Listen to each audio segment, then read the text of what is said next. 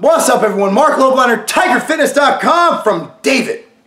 Subject is man tits. Hey man, I have man boobs and there is something weird about them. When I wake up in the morning and look in the mirror, my man boobs look much bigger and pointier. Then in the afternoon I look at them in the mirror and they look significantly smaller. Also they are much more rounded. What the fuck is up with that? Also, how do I get rid of this man tits? I'm not a fat guy at all, but it's embarrassing having man boobs. Man boobs or gyno. Now man boobs is just simply fat. Now me, I've had it since I was 15 years old, and every year people are like, oh, he's on a big cycle now, he's got. I've had slight gyno in my left nipple since I was 15 years old. It's not big enough to get removed, but it's enough for people on Instagram to hate me.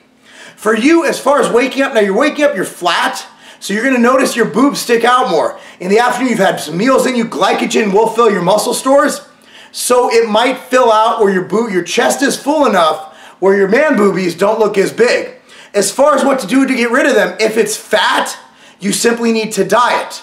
And judging by the fact that you said you're not obese at all, I'm guessing it's probably fat and you just store fat in your chest. If it is indeed gyno like mine, I think that the only way to get rid of it is surgery. You could say there are slight things, some doctors will prescribe a or Letrozole or something like that to decrease it, but the thing about gyno is you have to remove the gland.